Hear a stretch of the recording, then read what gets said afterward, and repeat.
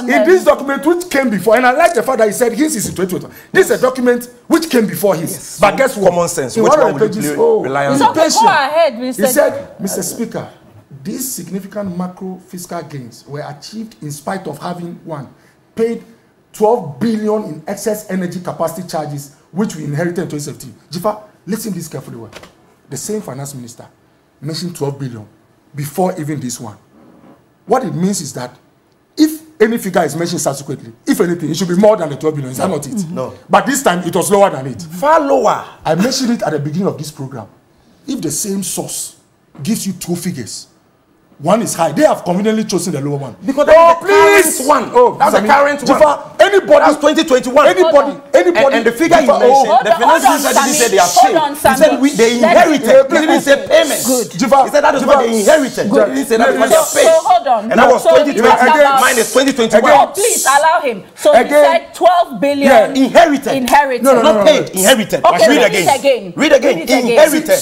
oh Okay, Mr. this James. is deliberate it's to waste my time No, No, you don't read have it that. again. But you see- read Please, it you don't have much time. But so, he's- you have yes. talk. So See, go ahead. the The first first word- and Don't payment are allow not the him. same. The first word in the if I don't sentence allow him to the first word in the Let me When it make sentence says the- inherited, not paid. The first word in the sentence is having I paid 12 billion in excess energy capacity, mm. which is the excess capacity that was inherited, not the payment. Mm. Clear. not true. Jiva, so the point I'm He was making is asked that question in 2021. He Jiva- How provided do a breakdown. reconcile- good, good, good. The Jiva, same man. So Jiva, Jiva, if you've worked in private or public sector uh-huh. and you are looking at addressing an issue and mm. not doing partisan politics, the first thing you do is to ask for questions so that reconcile. So you ask the que- we have Instead of. No, asking for this. but the question was asked, and that's So you thing that- reconcile But. You are, not you are only asked a representing government on this platform. He's not only Reconcile asked a the question, two conflicting he's figures moved ahead So it to make value judgment. 930 Okay, but million. what I know, You No, I reconcile like it. that. okay, just a quick one. no, no. So what I know is that we owe more than 800 million dollars yeah, to yeah, the yeah, IPPs. yeah, more than that. We've paid more than that. So the point is that No, we that's paid, what you owe them now. They've not been paid that much. no problem. As for uh, uh, indebtedness, I'm not. I'm speaking about the what same source, Paid. two different Jifa, figures. Which one should we believe? Okay, conclude. Jifa, let me please. Which one should we believe?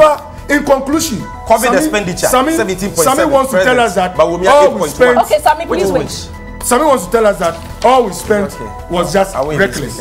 But Jifa, all every Ghanaian who is 550 vaccinated, billion the cost on, on the thinking. cost of deployment deploying the vaccine all health workers are paid 10 Ghana cedis for each shot you get that expenditure And the vaccine you bought, you inflated by 100%. Jifa, This the, the, the, vaccine. vaccines And that we are using You inflated the about price by 60% $10. Government bought from the Africa Medicines platform. How much? we paid money for it.